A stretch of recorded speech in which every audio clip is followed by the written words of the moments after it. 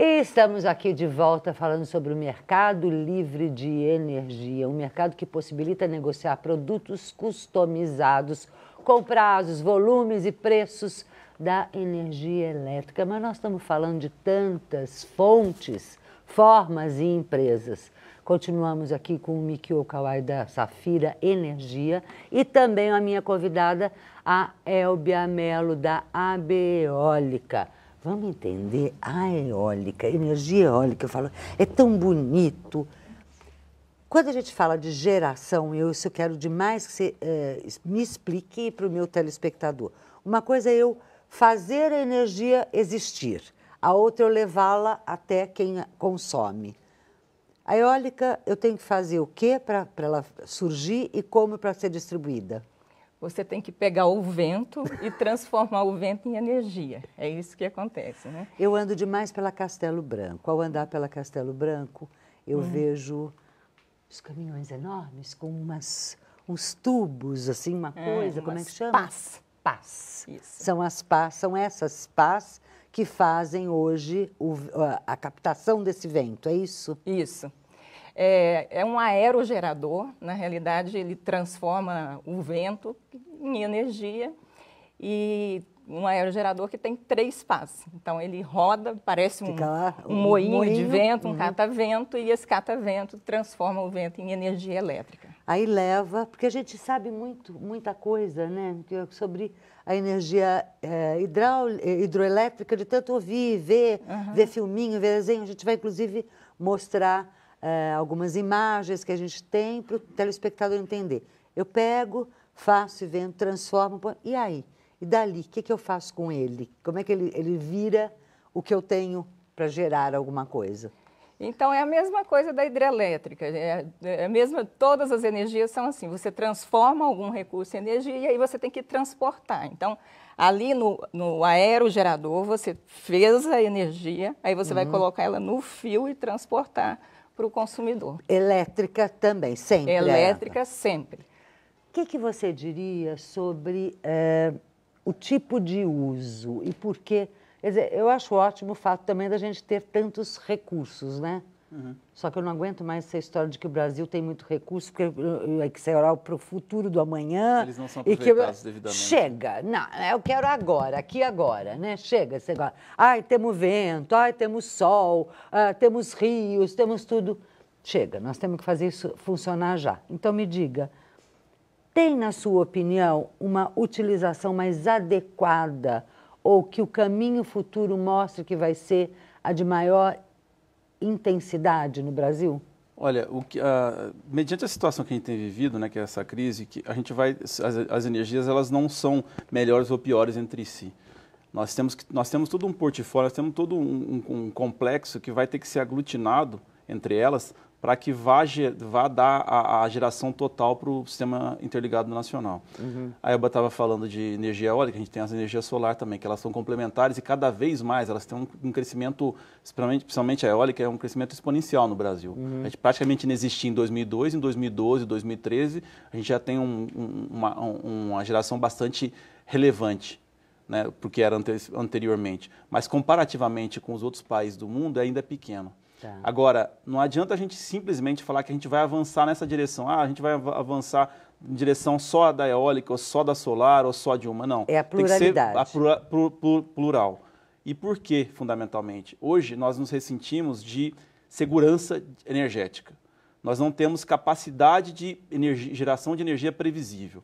Geração de energia previsível, ela fundamentalmente ela sai de dois grandes vetores. Geração hidrelétrica com grandes reservatórios que uhum. o Brasil tem abdicado ao longo desses últimos anos, e geração termoelétrica, principalmente a partir de gás natural ou carvão, uhum. que são muito menos poluentes, embora combustíveis, combustíveis fósseis, fósseis, muito menos poluentes do que as térmicas a óleo diesel e a óleo combustível que estão sendo despachadas nesse momento. Tá. Quer dizer, não adianta. É... Peraí, desculpa, que quando você fala estão sendo despachadas, o que, que significa estão isso? sendo utilizados, utilizados, estão gerando tá, energia tá, nesse tá. momento. Uhum. Né? E fundamentalmente por conta de quê? Por conta de que nós não temos no reservatório de água água suficiente para suprir a, a, o sistema interligado nacional uhum. inteiro, nesse momento. Então nós temos que lançar mão dessas térmicas mais caras, que é o caso da, da óleo diesel, da óleo diesel combustível, combustível, que são bastante poluidoras e elas estão aí fundamentalmente como fossem se utilizar como se fosse um seguro. Só que um seguro, quando a gente bate o carro, a gente idealmente só bate o carro uma vez. Né? Idealmente nunca. Nesse certo? caso, podemos Mas agora, usar... bater mensalmente ou bater anualmente fica uma coisa um pouco complicada. É, ficaria, vou fazer um paralelo aqui, entenda quem quiser entender. Ficaria mais ou menos como o pai dizendo para o filho, peraí que eu vou tomar o teu carro, né? você não está habilitado a dirigir. É, então, peraí que eu vou tomar esse brinquedo que é teu e vou eu administrar.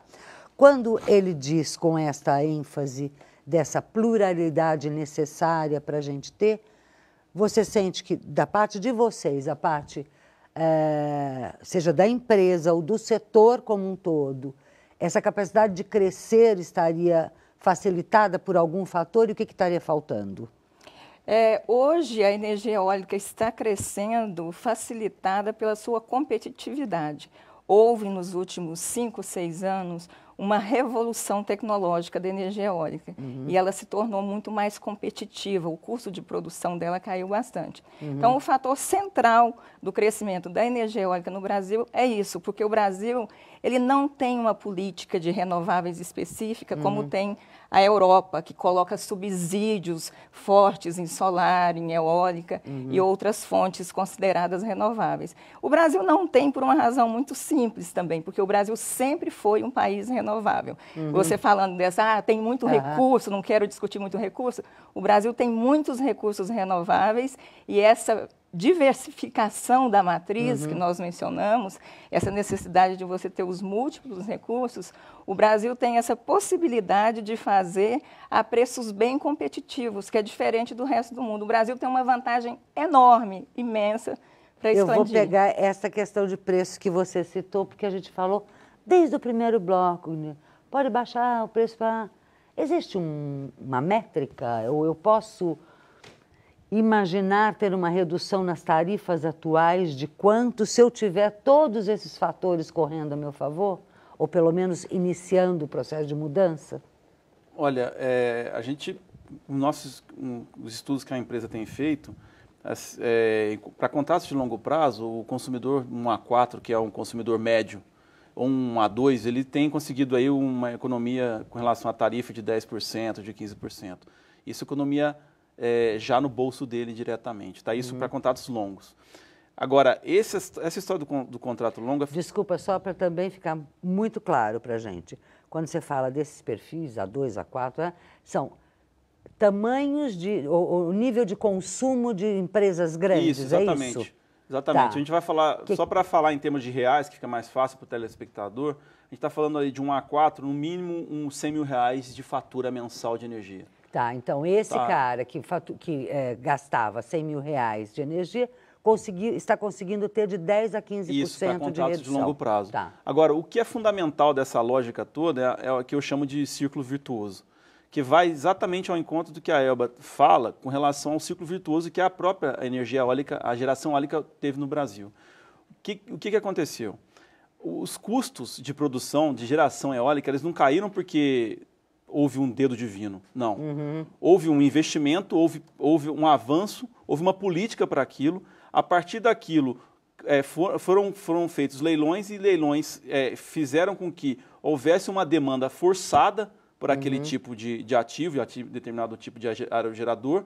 Aí houve aquele, aquele, aquela primeira rodada, aquela primeira onda de aerogerador, aí falou, já conseguimos instalar a, as empresas no Brasil. Agora, o que a gente pode fazer? Economia de escala. Uhum. Economia, cada vez mais eu produzo a mesma coisa por menor preço. Uhum. Eu produzo mais pelo mesmo preço. Então, sistemática, esse é o círculo virtuoso que nós queríamos para a economia brasileira como um todo.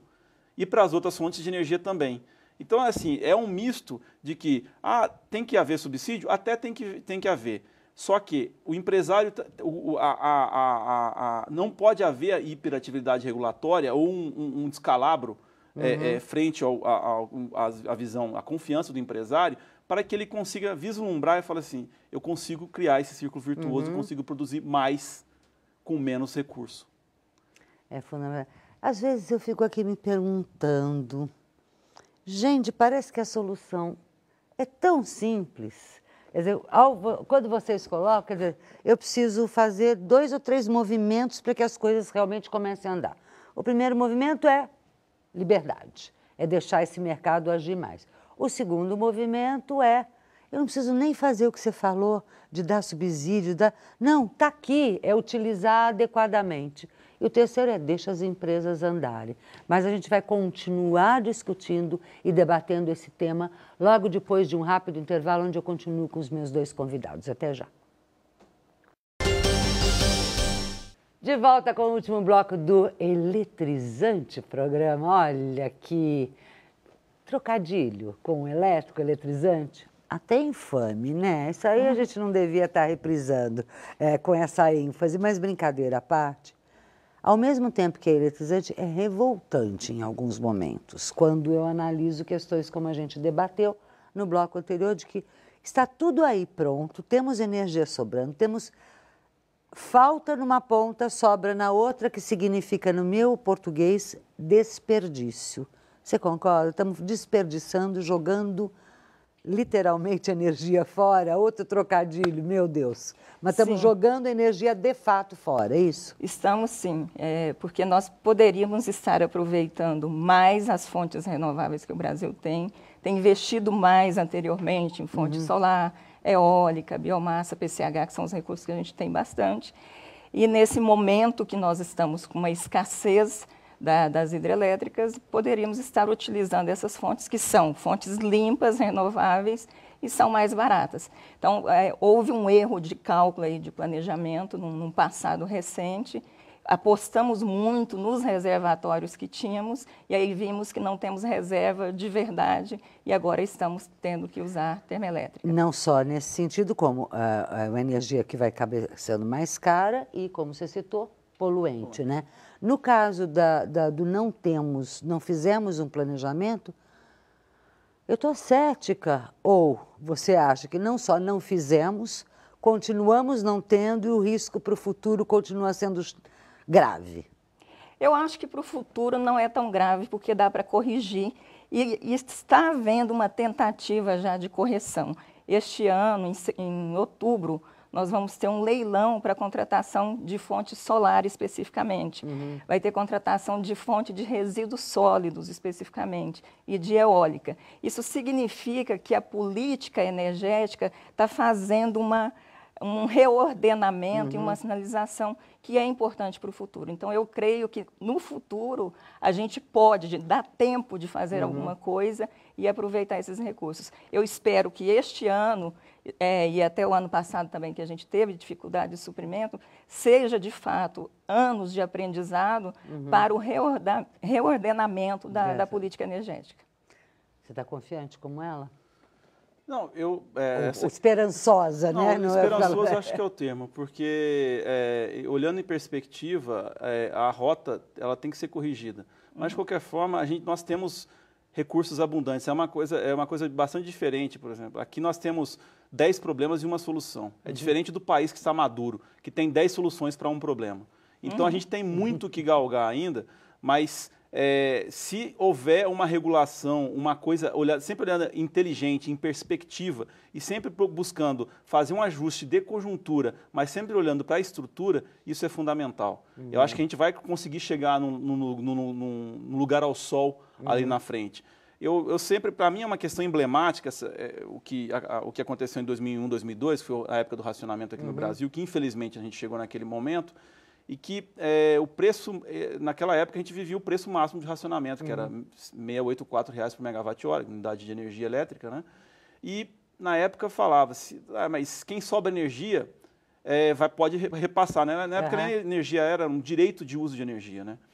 E quem sobra esse direito de uso vai repassar para quem tem essa necessidade que precisa comprar mais esse direito de uso. Ok. Qual o preço que deve ser? Vai partir do teto. Partiu do teto e ele foi se acomodando para menos pra da menos, metade. Claro. E aí a, os agentes mesmo buscavam, é, buscavam as suas próprias soluções e quem, para quem faltava esse direito de uso, eles compravam e com, com, pagaram menos do que pagariam oficialmente. oficialmente. E, na contrapartida, para quem sobrava energia, ele fez uma gestão tão boa da produção que ele começou a ganhar dinheiro. Se o meu negócio, por exemplo, era fabricar parafuso, eu, eu calibrei tão bem a minha, a, minha, a minha produção que eu comecei a vender energia, vender direito de uso uhum. de energia. E comecei eu a ganhar dinheiro com aquilo. Em parafuso e energia. Exatamente. Uhum. Então, esse tipo de, de, de saída é muito importante. O brasileiro tem essa flexibilidade. Nós temos que ser inventivos, sim, inteligentes nesse uso mas nós não podemos perder a mão. Nós temos que, nós temos que nos planejar. Porque nesse caso aconteceu o que você citou. Você falou de um retrocesso muito maior, que é até de uma lei no caso da Argentina, mas de novo nós retrocedemos. Tivemos a crise. Diante da crise, apontamos uma solução. Mostramos, enquanto país, uma criatividade enorme diante dessa, desse, desse, problema para sair da, uh, da, crise. E, da, crise. e ter um, um caminhar. Só que daí voltamos atrás, não, não na, como, porque isso não era regra, era exceção, né? Então passamos a não poder ter essa comercialização em aberto para todo mundo, né? Exatamente. É, e, e, o que o, o, retrato de lá, o que era emblemático lá, isso deveria ter continuado no uhum. sentido de que, olha, eu resolvo uma situação de conjuntura, mas eu olho em perspectiva. E, e quando vou... eu olho em perspectiva, eu equaciono o que vai, vem pela frente. No caso específico, você citou alguns, os leilões e, é, e através desses recursos. Para vocês, especificamente, para vocês, como é que você vê uh, esse caminhar, esse, esse desenvolvimento do caso da eólica? Ah, no Brasil é virtuoso a eólica, porque a gente tem um potencial enorme. Nós temos hoje, de potencial de eólica, três vezes o que o Brasil precisa de energia. Então, se eu quiser desenvolver toda a minha possibilidade de eólica, é, eu tenho três vezes o que o Brasil precisa. Então, é, é, praticamente infinito. É claro que você não pode ter uma matriz só com um tipo de fonte por uma questão de, de segurança. Ela tem que ser diversificada. De novo, eu vou fazer um paralelo, a gente fez com o seguro, com o automóvel, com... É. vai fazer um paralelo também com a matriz é, de transporte, né? Ficamos, e o caos hoje está é, provado, é, porque ficamos refém da, do, do, sistema rodoviário ou das Isso, rodovias exato. e não diversificamos nas outras matrizes uh, de transporte. Idem no caso de energia. Eu tenho capacidade, então, para fazer uh, ter três vezes o que eu usaria enquanto país. Hoje, quanto de energia eólica é, é fabricada e utilizada? Então, do hoje, que consumimos? É, do consumo total, cerca de 2% que chega na sua casa é de energia eólica mas nós estamos crescendo rapidamente. O primeiro leilão foi feito em 2009 e você precisa de três anos para a construção do parque. Então, efetivamente, nós começamos a operar a partir de 2012. Tá. Eu estou falando de dois anos. Uhum. Só que eu já fiz várias negociações, vários leilões, então, de tudo que nós já vendemos em leilões, nós vamos chegar em 2018 já com essa participação lá no consumidor final com cerca de 4 a 5%. E no total da matriz, cerca de 9%, o que é um número já bem razoável. Bem razoável, mas podendo chegar a 100 não, né? A 300%, né? Quando a gente observa. É, a gente não para, esse assunto para mim é encantador e eu gostaria de já deixar com vocês o convite para um retorno, para um outro programa, para a gente voltar a abordar essa área. Quem sabe com os avanços que vocês estão esperando e gostariam que acontecesse. Eu vou Obrigado. terminar aqui. Muito obrigada pela sua participação. Obrigado, Joy Peperi, Record News e o Economia e Negócio, sempre com muito carinho, uma ah, lembrança para você. Obrigada. obrigada. Obrigada a você que esteve nos acompanhando e nos acompanha sempre manda a sua sugestão para aquele endereço que aparece toda hora no seu vídeo, que eu repito, economia.negócios.r7. Você pode escolher o tema do programa, você pode escolher tudo aquilo que você quiser que a gente aborde aqui. Nós estamos chegando ao fim, mas voltamos já, já, a qualquer momento no r7.com. Até mais.